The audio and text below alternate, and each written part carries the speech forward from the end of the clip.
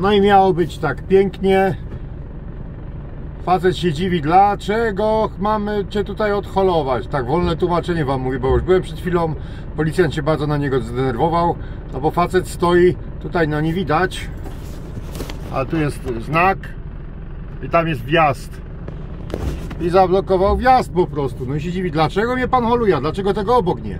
No bo ten obok dostanie też mandat, ten tutaj co policja konik stoi, ten pierwszy, ale on nie przeszkadza.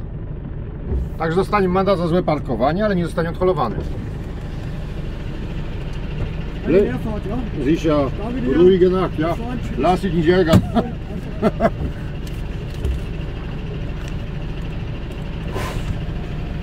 No i skończyło się na tym, że faceta nie odholuje, zapłaci mandat, no bo przyszedł i wszystko, no. No ale wiecie co? Mój ojciec kiedyś coś mądrego powiedział, że wielką gębą nie załatwisz nic. Także jak ci policja mówi, panie, źle pan zaparkował, to weź ten cholerny samochód i odjedź stąd, a nie pyskuj mu. Bo będzie drożej. Bo oni po to są, żeby porządku pilnować. No bo wyobraźcie sobie, no wracacie sobie do domu, chcecie wjechać, a tu wam jakiś kurde ktoś tam, tak się delikatnie wyrażę, zablokował wjazd. No i weź go szukaj teraz.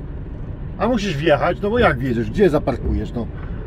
No i no to tak to jest, no, no niestety, no wiecie co, ja naprawdę nie mam skrupułów dla tych ludzi, co źle parkują. Chociaż nie, przepraszam, miałem raz.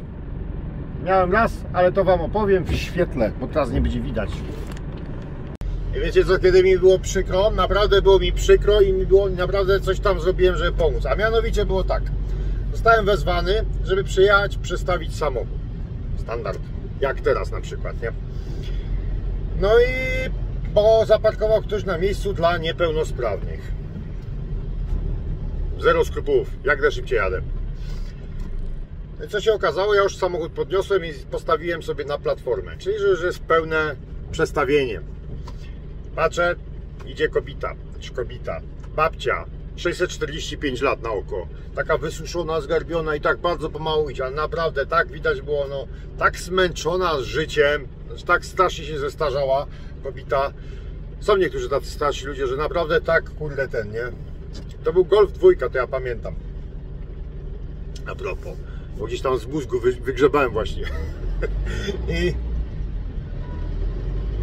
i tam był ten, policja stała, no i mówi, że pani zaparkowała na miejscu dla niepełnosprawnych, proszę pani, tak nie wolno. Ona mówi, no, no ale jest niepełnosprawnym, nie? On, a policjant mówi, no ale nie ma pani plakietki ani nic, kartki.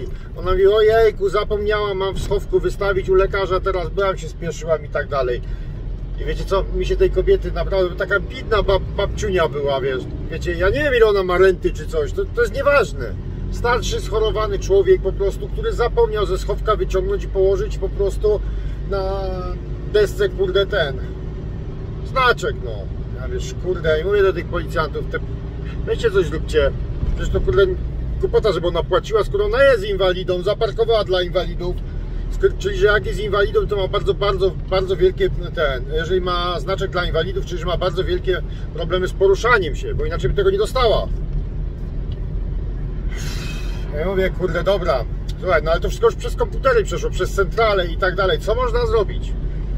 Bo to, co ja teraz zrobiłem, takie pełne przestawienie, tak jak już zaparkowałem mi tego Golfa dwójkę, tam było prawie 400 euro, albo ponad 400 euro. Ja mówię, no kurde, kupę pieniędzy, nie? A oni mówią tak, no to słuchaj, powiedzmy tak, ty przyszedłeś, ale ona też już była. No to jest tak zwany taki pusty przejazd. Dobra, da się.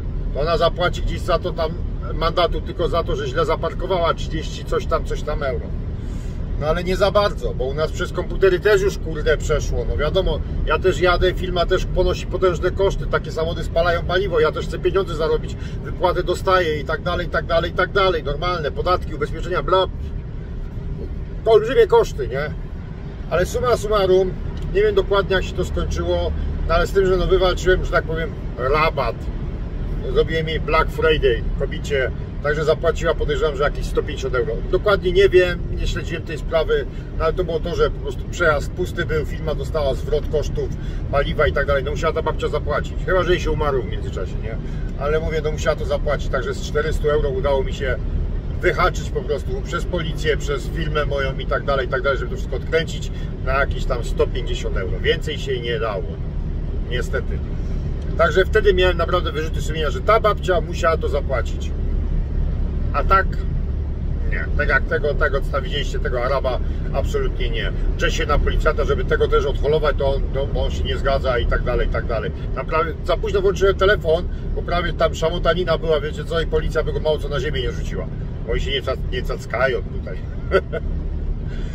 Dobra, jedziemy. Teraz wracam już do bazy, chyba wypiję kawkę i do domu spadam już